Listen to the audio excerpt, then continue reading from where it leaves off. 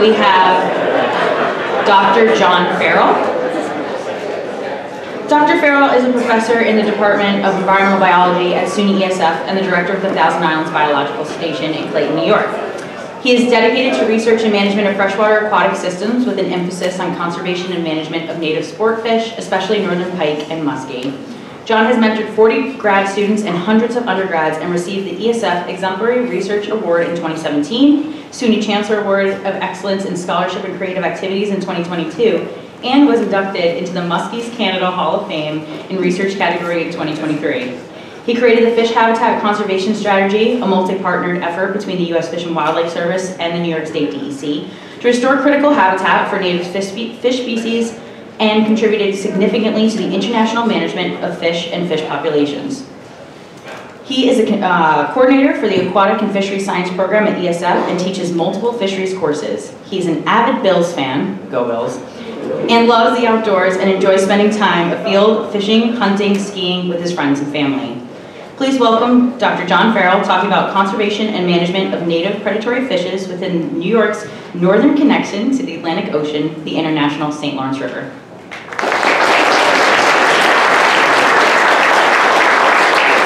Thank you, Samantha. I just I want to thank uh, New York AFS uh, and all the people that helped organize this awesome gathering. It's great to see everyone. Uh, so, you know, I, I work on uh, the St. Lawrence River. I've dedicated my career to it, and it, I think it kind of links well to the, the theme of this conference, It lands to Oceans. Um, and we have uh, this northern connection to the ocean that sometimes gets forgotten. Um, but uh, you know, I kind of want to focus on that today. And, and uh, the predator fish, no surprise, we're going to be talking a lot about esocids, but not just esocids. So um, here we go.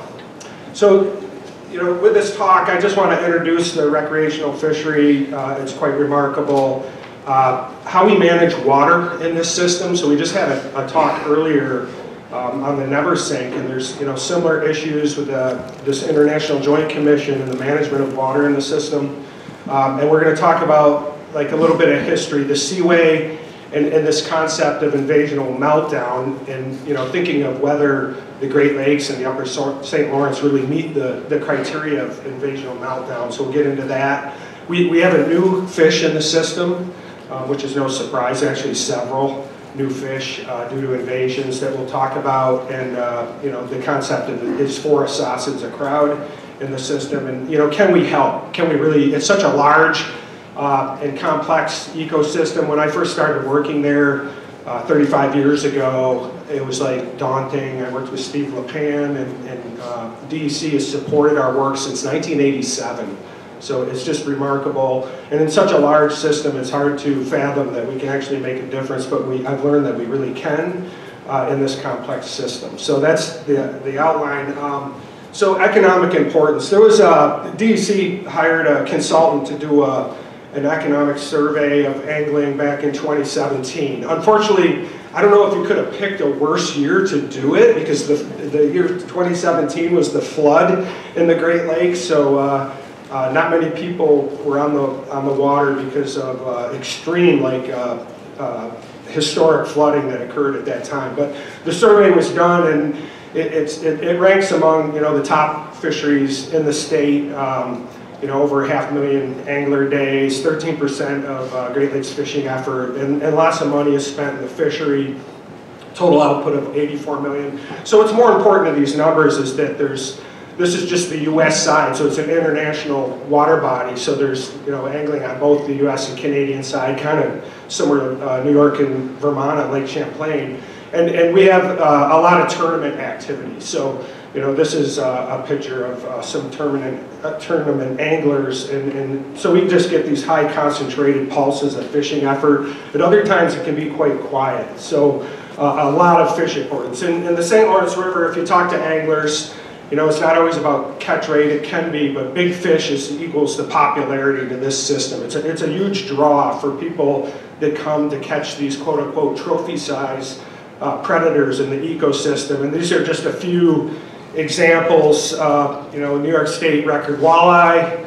Uh, there was a, a, shared record smallmouth bass recently. And then the a famous muskellunge that uh, uh, Captain Richie Clark caught with his customer, it was 60 inches and he let it go, which, which is part of this story. And then more recently, we had the uh, um, Minn Kota Bassmasters Elite Tournament in 2023. Uh, these tournaments are massive, and Patrick Walters caught 105 pounds of smallmouth bass. He was calling smallmouth bass that were over five pounds, like multiple five pound fish he was throwing out because they weren't heavy enough.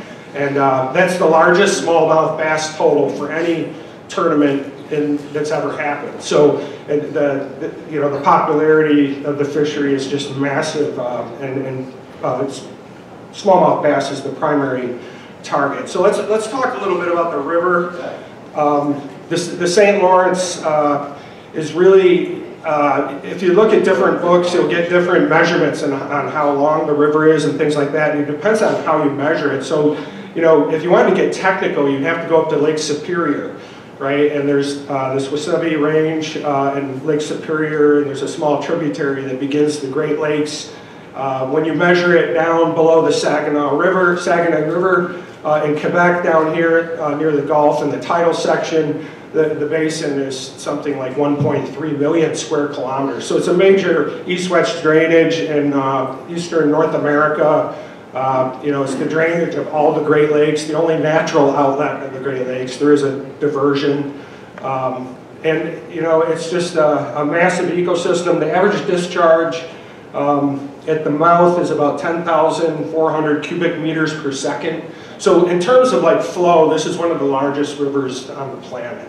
Um, it also is a unique river. It's probably number one in, in being a system that delivers the least amount of sediment. So this is a like a clear water system. This is Great Lakes water, and it's moving to the ocean, um, and it's an international water, and it, it's uh, very dynamic. Whoops, I already screwed up my talk. So the river is, uh,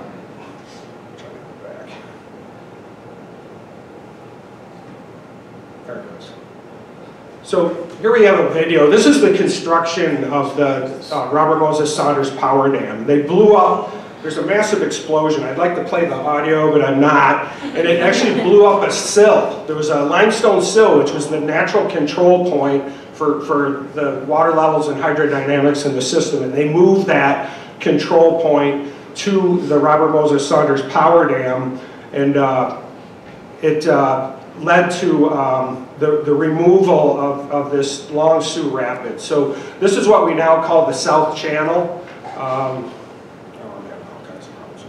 so the South Channel is this section right here inside of Barn, Barnhart Island. And this Long Sault Dam um, basically moves the water around and through the power dam around Barnhart Island, and it created what we call Lake St. Lawrence, which is a which is a huge fluvial lake, increased about 300% in surface area. So you can see how the river used to meander. This is the Long Sault Rapids, and now it's like this large fluvial lake. And, and so we work there. Uh, we work primarily with our colleagues from the U.S. Fish and Wildlife Service, and we're also working in the Thousand Islands, which is above this section of the river, and, and physiographically hasn't changed from the dam. But there's other effects of the dam that include Lake Ontario and, and the uh, formation of, of water, water level regulation we'll talk more about. So you know, what's really interesting about the Great Lakes system and its basin is, is we basically have one river, you know, starting from Lake Superior, Lake Michigan, uh, Lake Huron, the Georgian Bay, through Lake Erie, out through Lake Ontario, and then down through the St. Lawrence River to the ocean. And, and you get basically a lot of multiple hydro patterns that occur along, if you follow this path of water. And the, the regulated portions of the Great Lakes would include Lake Superior, and also Lake Ontario. So the lakes uh, in between those are not regulated. So they're, they're really interesting to look at in comparison. And then as we go down out to the ocean, there, there's two dams. There's the Robert Moses Saunders Power Dam that I mentioned before, and then there's also a dam uh, in Quebec. So there's only two dams that are affecting this system, but there's also a system of locks that have allowed uh, transoceanic shipping and also uh, what we call, these are the salties, and then there's also the Lakers that are within the system that, that make up uh, container ships uh, and they're primarily working within the Great Lakes, but the, about 14% of the traffic is with these salties that are uh, making transoceanic voyages. So here, here's a map of shipping, shipping traffic, and you can see along the east coast there's just these dark reds. That's a lot of uh, shipping activity, but you can see that right here into the Gulf of the St. Lawrence, there's a main artery um, coming down into the St. Lawrence and, and, going throughout the Great Lakes ecosystem. So that's that was part of the St. Lawrence Seaway uh, development project to, to harness the river uh, for uh, hydroelectric development um, and also provide uh, international shipping. So when they, when they created the Lake St. Lawrence, uh, that was part of that process. They had to move villages um, out of the, the floodplain. Um, if you can imagine your rival high school, uh, all of a sudden you got to move into their school. It was that kind of stuff. So thousands of people were impacted. There's a, um, some series called Lost Villages if you want to look into the impacts uh, on communities of this dam.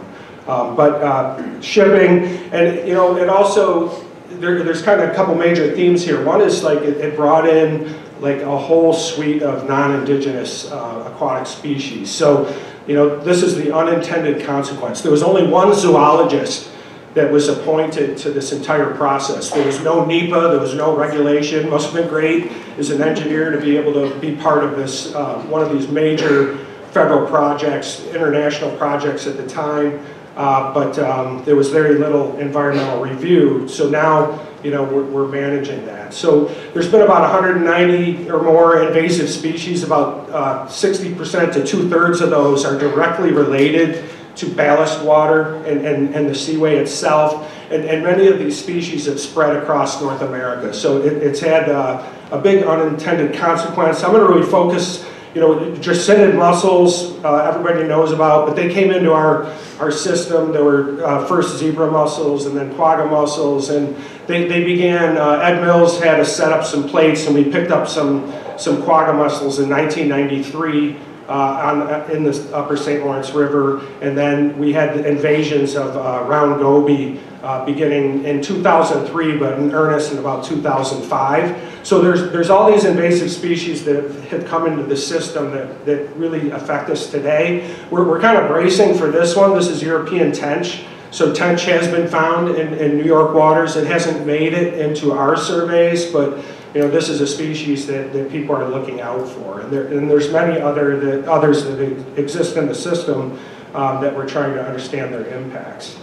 So this concept of invasional meltdown, you know, this comes from like foundations of ecology. So when we look at, uh, you know, Charles Elton back in the late 1950s with seminal works on invasive species came up with the concept of biotic resistance and you know, biotic resistance was the force that, that native species had um, to resist uh, impact. So the, the point being that that, that carried for, for decades until uh, this work by um, Dan Simberloff um, and Von Holle in uh, Biological Invasions, where they, they started to recognize in a, in a survey that there was very little work looking at the interactions of non-indigenous species. So it was kind of focused at that time more on how native species uh, provided this uh, biotic resistance and less on, on, interactions between invasive species. And I think as more and more invasive species came in and started to establish in North America and also in Europe um, and other places in the world that, that, we, that we saw that we must learn more about their, their interactions. And they came up with this concept called invasional meltdown, where, where synergistic and interactions among invaders could actually facilitate and accelerate their impacts on, on, native ecosystems. So that's kind of a bar to look at, you know, some invasive species might be more innocuous, innocuous than others. So invasional meltdown is, sounds kind of like a, a nuclear uh, Chernobyl kind of concept. So we're, we're going to talk about that in, in a place where we have a, a really unique uh, position to, to study and speak about invasive species. So, um, you know, I mentioned the Dreissenid mussels, and it was just remarkable, uh, you know, when we look at uh, their native range over here in the Ponto-Caspian eastern uh, Caspian Sea and, and, uh, and uh, non-native range spreading northward into Europe, into the Baltic,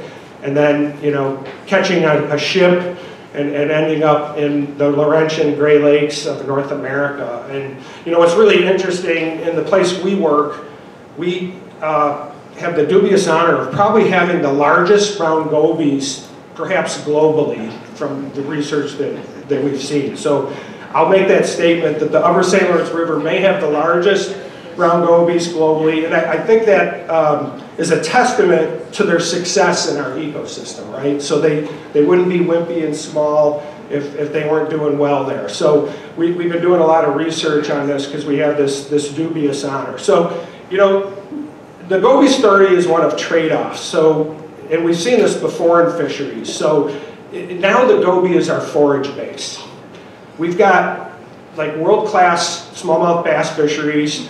Uh, St. Lawrence was ranked number one in North America last year. They're number two this year, even though they just broke the all-time record for smallmouth in the most recent tournament.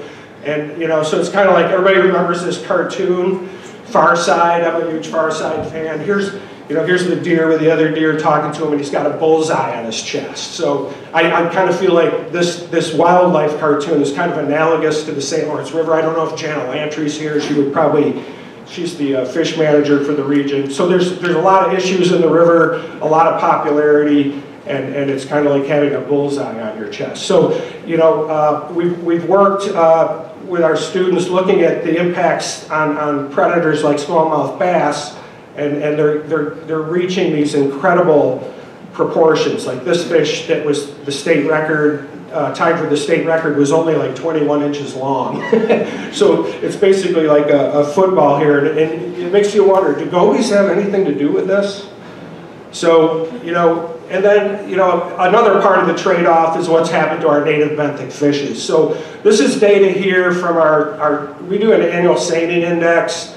Uh, this is our darter catch uh, over time through and multiple surveys. So we have a couple seining surveys, and then we have a a trap netting survey we do every year, and, and we've seen like a complete loss of tessellated darter in the system. They kind of sputtered along until we saw our last one. You can see there's two individuals in the last couple years. Um, this used to represent, these, these darters used to repre represent 14% of the young of the year muskie diet. So this, this was an important species. It's not, uh, it, it's, it's a native fish, it's a tessellated darter. Um, and uh, we also had uh, other abundant species um, like the slimy sculpin here and, and our native, uh, uh in this log perch, our native uh, benthic fishes you know, have, have really disappeared and, and have been taken over by, by this round goby. And uh, what's interesting is, is this tube-nosed goby is a recent invader, came in in 2011 and has actually proliferated on top of round goby. So they, they're sympatric and they overlap spatially. So it's kind of interesting that you have one tiny, like two inch benthic fish that's able to proliferate on top of round goby and then all our native benthic fishes just disappear and run for the, for the doors. So that, that's kind of an interesting uh, question that, that, that, we've been looking at. Um, here's our our giant goby that we affectionately call the goby scallonge uh, because it's, it's reaching these incredible uh, sizes and dimensions. And we're, we're looking, we've been doing some work, this is with my former student, uh, Andrew Miano, um, and we, there's a lot more to the story, but we studied and compared diets uh, in coastal embayments of both small and large uh, round goby, uh, these large ones. And what we find is something that's really kind of unique. If we were looking at trophic position, these larger gobies actually occupy a lower trophic niche than their smaller counterparts. So that, that's kind of unique. Uh, there are some fishes that do that, that are reduced in trophic position as they reach adulthood. Most fish uh, increase in trophic position, but we think it's because they, they specialize to a greater degree on, on large dreissenids.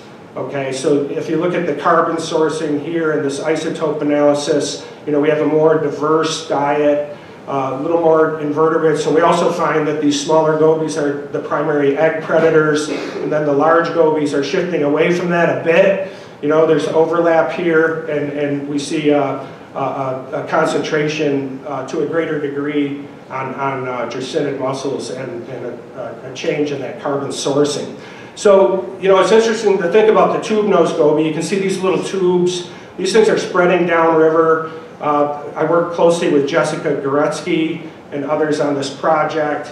And uh, Jessica's now at Cape Vincent with DEC. And when we look at their diets, and this is also a project uh, that we're working on with Roxanne Razavi, uh, with a new student, and this is Aman Paksad's data. She just uh, finished her master's, and we looked at diets and mercury uptake of both large and small goby again, and then tube nose, and, and what you see is like this dreissenid block. Again, being larger for the large round goby, so it's consistent, smaller round goby, smaller dreissenid block, and then tube nose, these things are tiny, they're really not eating dreissenids at all. So we, so we think that there, there could be the possibility of a, like a functional facilitation of tube-nosed goby in this round goby habitat. They tend to be a little bit shallower, accessing more like wetland type habitats uh, and then than we see in the, the round goby. Um, and, and they're, so they found uh, a niche so in this niche separation. So they seem to be uh, being favored uh, by these dynamics that are going on in the system, whereas native fish are leaving.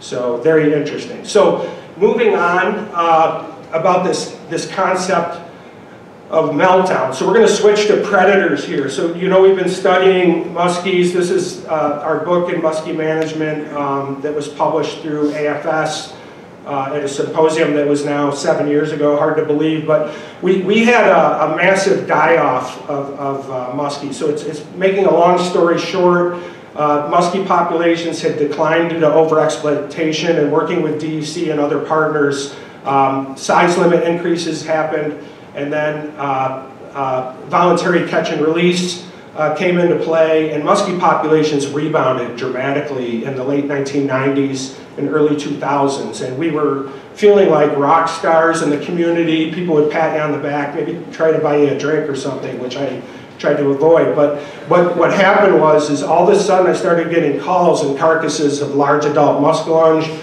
uh, from 2005 to 2008. We just were floating up to the surface. I dove to find them on the bottom as well.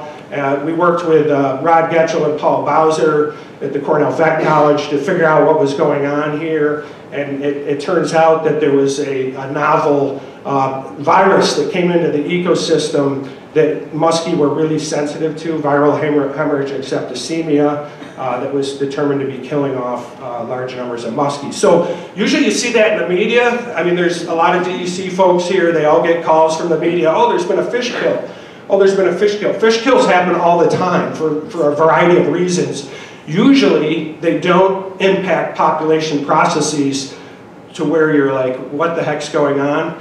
This has been a, different situation. So, you know, we had round, and we can't, the other thing is we can't really separate round goby introduction from VHSV. They didn't come together but you're, to learn more about that in a second. So, so those introductions happen here. This is our trap netting survey for spawning adult muskellunge that we've done in a standardized set of sites uh, th throughout the St. Lawrence River. And, and these are our catch rates. And you know, before, uh, you can see these gaps in here. There was a management decision because this work is so intense that we reduced uh, the effort to doing it every third year. So our last survey was in 2003. This virus hit. We're like, we need data, so we started uh, annual sampling and even increased our effort. Um, and, and we just saw that some of these sites fell into what you might be worried about extirpation. So we've got Blind Bay um, and all these sites just kind of sputtering along with much lower catch rates.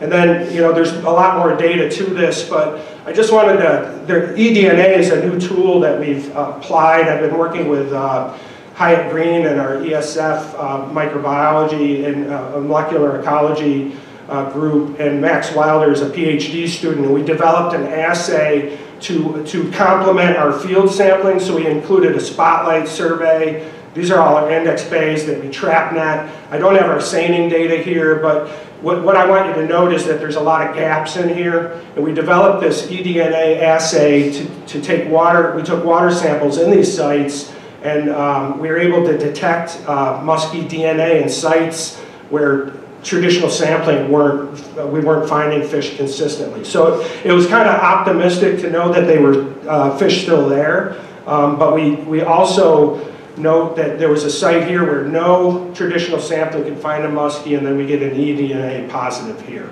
So that's, that's kind of interesting. They're really at that low level, or maybe it's within you know, sample variability. And then this Payos Bay near Cape Vincent, no, no detections for anything, so possibly the population is ex extirpated there. And it used to be a massively important uh, nursery site, spawning nursery site. So eDNA was a very valuable tool in looking at this. Um, I've got one more molecular story and looking at the virus itself. So this is kind of molecular viral evolution. Um, so we're looking at the development of new isolates so the whole VHSV virus was a cold water virus that came from Europe and it was and then it became a saltwater virus and then it mutated into this type 4b that allowed it to come into fresh water and into the great lakes and cause all this disruption. Um, and and oh, and that thing is like forming prunes. This 4b has prunes as it evolves in the ecosystem and it's kind of like a co-evolutionary arms race between its host who's developing immunity and the changes in the virus. So we, we looked at, this is work by my PhD student, Anna Haas. Um, she's graduating soon. This is an elect, uh, uh SEM electron micrograph of the virus itself. And, and what we're seeing is that over time, the virus is still in the ecosystem after all these years. So here's uh, five years of data. And we're also seeing an increase in the numbers of different types of isolates. So Rod Getchell has played a big role in this work as well. Um, so we were looking at this temporal change uh, in the VHSV virus, but we're also looking at who is the most competent host. So we've been looking at muskellunge and, and other species in the nearshore aquatic ecosystem and the smoking gun comes out that it's round goby. So round goby is uh, providing this, this competency and serving as the, the primary reservoir for VHSV. And further than that, we know round goby are serial, serial spawners. Uh, they're highly abundant, and, and the food web is kind of organized around them. So a lot of fish species are getting exposed to virus through, through predation on round, goby, perhaps through their gill lamellae.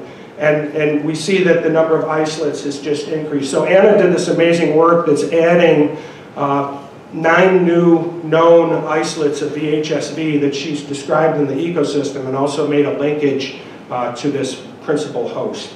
Um, so very, very exciting work. So, you know, another part of the talk is what are we going to do about it? so we, we have a partnership with U.S. Fish and Wildlife Service and, and DEC um, and others to, to actually do an experimental program. So we're releasing fry and fingerling muskellunge. We, we can work, we work with Scott Schluter and Justin Ekrit. Uh, they're doing netting in the Lake St. Lawrence region, and, and the population seems to be in better shape down there. Um, so we're, we're taking broodstock from the TI region, but also downriver, and, and getting um, fry and fingerlings that we raise in our system. We're now developing a, a relationship, uh, and we've developed a relationship with DEC and their hatchery system that have been assisting with us a great deal. And we're trying to restore lost and known spawning nursery sites and then monitor the population response. So we have release of uh, fry that are OTC marked and then fingerlings are given a uh, chip.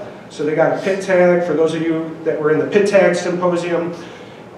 You can't enter this kind of restorative quote-unquote stocking program without understanding genetics. So we, have done a lot of work um, looking at the muskie genome. This, we got the cover of evolutionary applications in 2019. Uh, my, my student Kevin Kapusinski studied um, uh, population structuring throughout the Great Lakes. And then I recently worked with Louis Bernatchez um, and his lab um, out at Laval. And we actually um, looked at uh, introgression of uh, muskie genes in the, in the St. Lawrence, throughout the St. Lawrence River, which has received about 40 years of stocking.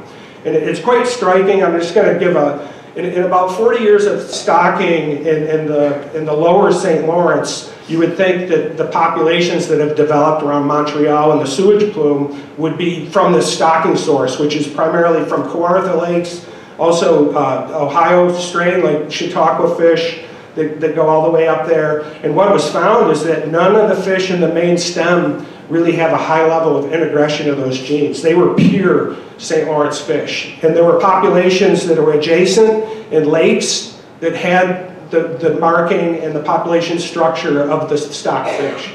So interestingly, you know, the, the environment is what's structuring and selecting for those genetic uh, strains. So we're trying to use those in our restoration to maintain this, uh, uh, you know, remarkable St. Lawrence River fish that produces world-class uh, muskie fishing and serves as an apex predator. So, you know, we have a long-term seining, seining database. We look at habitat, um, and we've, we've caught, um, and it targets these young muskellunge on the nursery grounds. Uh, so we really focus on small fish and recruitment. Each one of these points, I don't have like the, the variation and all that in here just to simplify but each one of these points is 90 seine hauls. Okay, so you think about the crews covering the entire St. Lawrence River, pulling these nets, looking at the, the vegetation. This, this proves that I actually was out there. That's me right there. And uh, so anyhow, you know, we, each one of these is a, a, a true estimate of CUE, which is the catch, um, and we do it in a standardized fashion, and we've done that um, since 1990. This data is from 1996, and you can see this crash um, after VHSV hit and, and, the number of young that we're seeing on the nursery ground. And then you see this, these increases, and these correspond to a pilot study we did on the advanced fry stocking. One inch fish were released at 750 per hectare in these nursery habitats, and it really elevated the young um, which kind of told us that we might have a recruitment bottleneck. And you can see this, in, this sequential decline in 2012, the increase, then we stopped stocking, it jumped, it went right back down. So there's an international muskie working group uh, and working with uh, Ontario Ministry of Natural Resources and Forestry in DEC, uh, it was decided to, to, to try to restore these sites. So we began uh, fry stocking in earnest. The fingerling stockings happens after these surveys which is really nice because I can separate uh, analysis of those two sets of data. But the fry stocking shows that the habitat is still functioning. Um, I just want to follow up with a little bit on muskie behavior. So Steve LaPan, a lot of people probably know him here. Um, he just recently retired, but when he was a graduate student at, at ESF and then an employee, we started a big uh, muskie behavioral telemetry study as part of the management. Nobody knew where these fish went, and uh, we did uh, 47 tags were put on, on muskies, and he tracked them with an airplane.